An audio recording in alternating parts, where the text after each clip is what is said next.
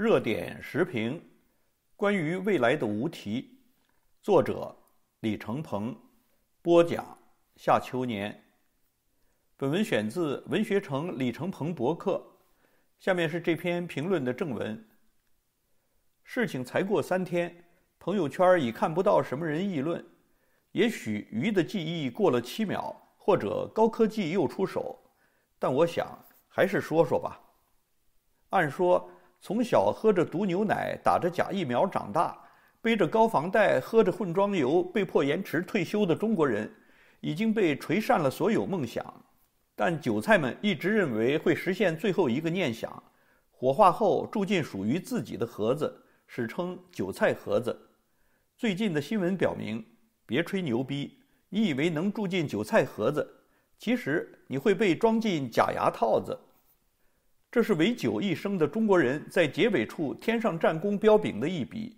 殡仪馆、医学院、生物公司把四千多具送来火化的遗体肢解，加工成同种一体骨材料，卖给了医疗医美行业，耗材一生，实至名归。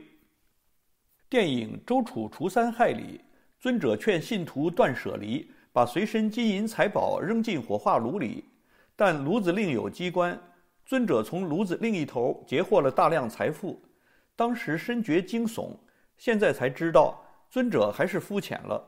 我们这儿上映的电影是：当你正对着火化炉哭喊“妈，你走好”时，火化炉另一头正同步专业冷静地咔嚓咔嚓肢解着你的至亲，剔除皮肉、清洗、辐照、打包、冷储，办妥合法手续。在手术室成为素昧平生另一个人的假牙、假鼻梁、假骨盆。这几天总有人恶意提问：骨头拿走了，肉呢？想象火腿肠里某个老表的眼睛正跟你深情对视，这味儿真重。刚才一名在中国工作和生活过的赞比亚妇女称，中国把死人肉做成牛肉的样子卖到了非洲，号称有图有真相。我们的政府怒斥，这完全是造谣诽谤。人们纷纷表示震惊，我对人们的震惊感到震惊。对这片土地发生任何事情，你都不要震惊。作为一个正宗中国人，最基本的素质就是不要对这片土地上发生的事情感到震惊。你的一切属于国家。当年我们的祖辈可以把土地上交给人民公社，现在就可以把自己的身体上交给殡仪馆。当年叫土改，现在就叫尸改。在果戈里的死魂灵里，齐齐科夫跑去农庄收购死亡农奴的空户，借此赚钱，对农庄主们刷了一通深刻的演讲，标题就是“每样的废料都是可以生利的宝贝”。这部揭露俄国黑暗农奴制的小说发表于1842年，那会儿还是大清，想不到一百多年过去了。当然。我国已成功迈进了社会主义全面小康时代和法治时代，偷师卖师只是个别不法分子干的坏事。中国殡仪馆大部分属于事业编，收入上交；部分地方改制成民企或政企合作单位后，仍隶属于民政局管辖。参与肢解尸体的青岛大学附属医院是国家单位，山西奥瑞是从中国辐射防护研究院脱胎而来。曾以同种骨植入材料生产商身份出现的国药，妥妥的央企。所以偷师卖师不是某个殡葬从业者道德沦丧，它早就是一个有深度背景的产业体系。像山西奥瑞这样的骨库，全国一共有四十四家。所以你细品，当你发现房间里有一只蚊子时，说明已经飞进来了一群蚊子；当一个老头发现他新装的假牙有股子尸味时，已有千万个大爷半夜梦见有人站床前托梦，忽然发现山西奥瑞是获得国家认证的高新科技企业。当马斯克的高新科技企业发射星舰时，我们的高新科技企业在偷师；当星舰团队研究残片以降低发射成本时，我们在琢磨怎么肢解碎骨才最划算；当马斯克对浩瀚宇宙刨根问底时，我们在荒郊野岭刨坟。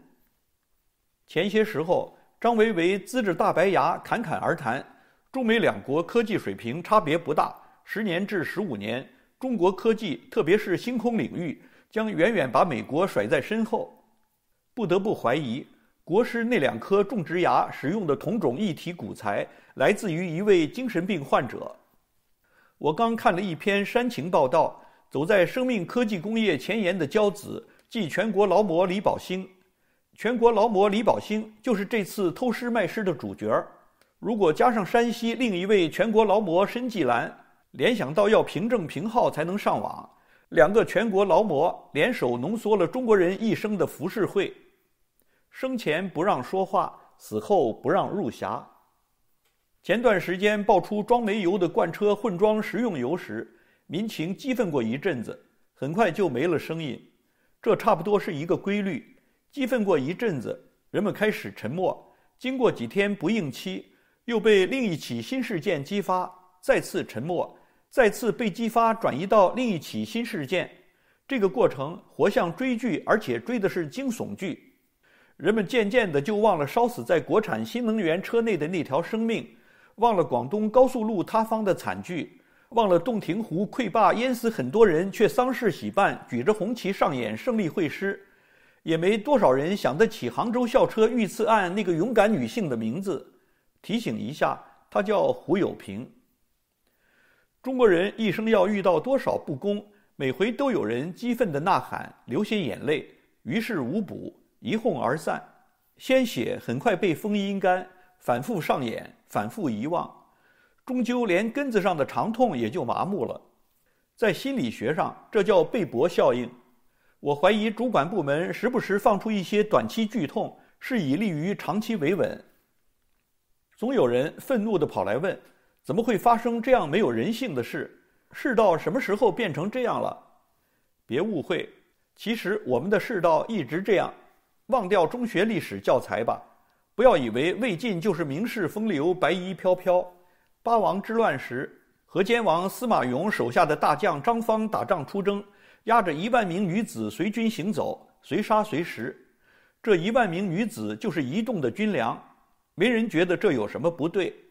唐将张巡在城池被围时，杀了自己的小妾喂食给将士，史书一通夸他为保江山社稷不惜牺牲自我。唐德宗还下旨追封至德以来将相功效名著之人。有没有发现，崇拜皇朝也成了周期性社会规律？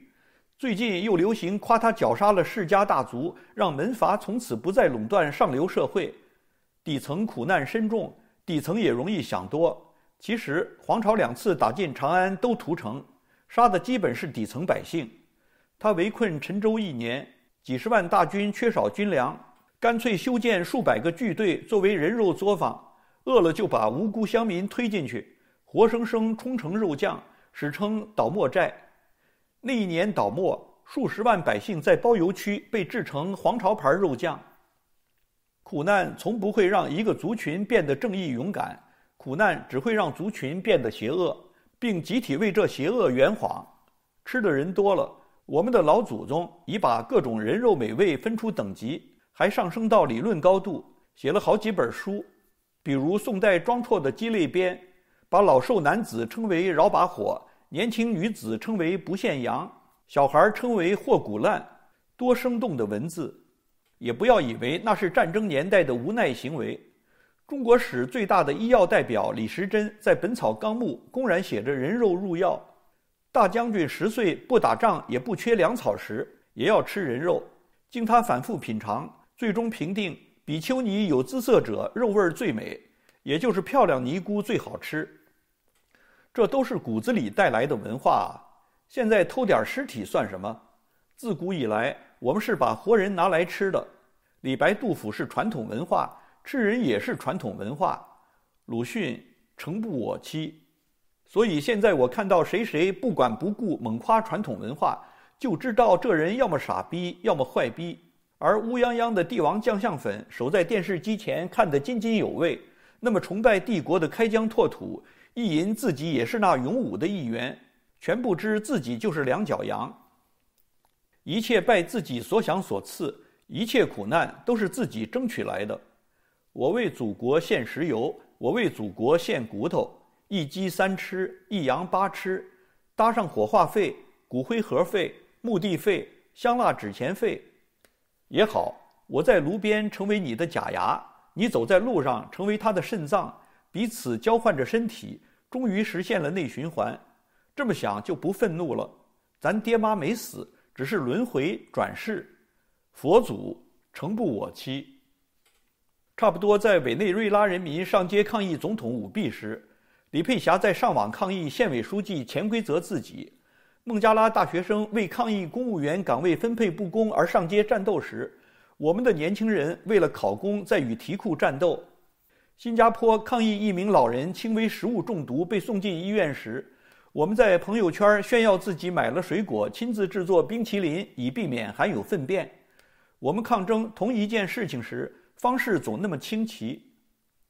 总有朋友问我怎么办，我哪知道怎么办？无解。脱离苦海的唯有奇迹。最近大家总在风言风语传播些奇迹，我无所谓相信，也无所谓不信。黄巢之后还有朱温，朱重八之后还有张献忠。扬州十日，嘉定三屠的重要策划人和屠杀者李成栋，本是李自成的部下，他把起义军团团围住，全部剁成肉酱。中国人勤劳勇敢善良，中国史波澜壮阔，英雄辈出。细一看。却总跟人肉过不去。制度当然是万物之源，骨子里东西不改也如无舵船。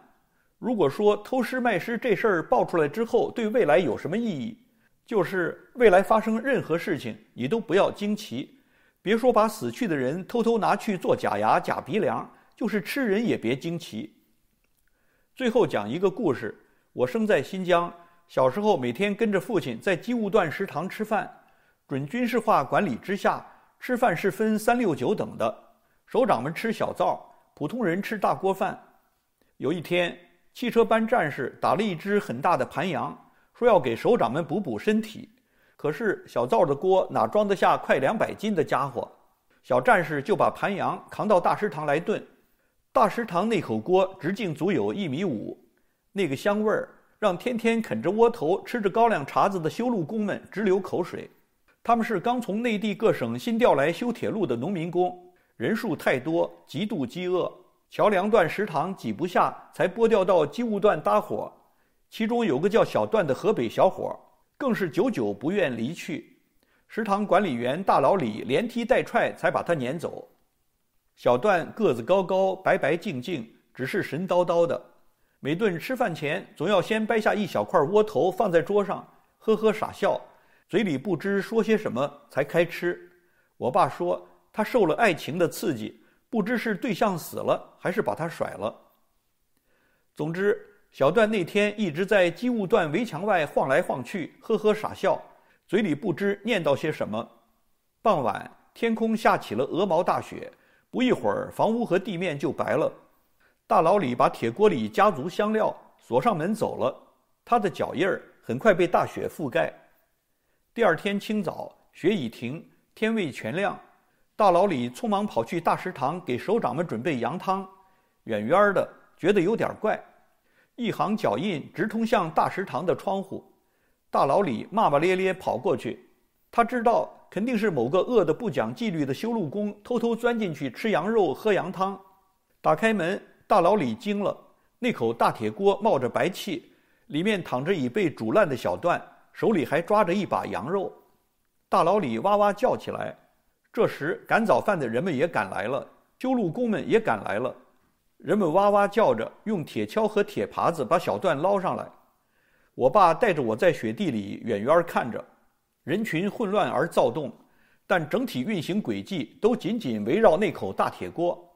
那个气氛很诡异，我看不清他们在干啥，只听见大老李愤怒地喊着。放下，不准吃，不准吃！这他娘的有人肉！那一年我九岁，谁知道岁月流转，未来会发生什么呢？有没有一个痴情而饥饿的小段躺在锅里？有没有一个大呼小叫的大老李骂着放下，不准吃？这他娘的！这篇关于未来的文章，标题就叫《关于未来的无题》。如果说最近一系列事件会给未来带出什么积极意义？我只能说，请保全好自己和家人。此致敬礼，李承鹏。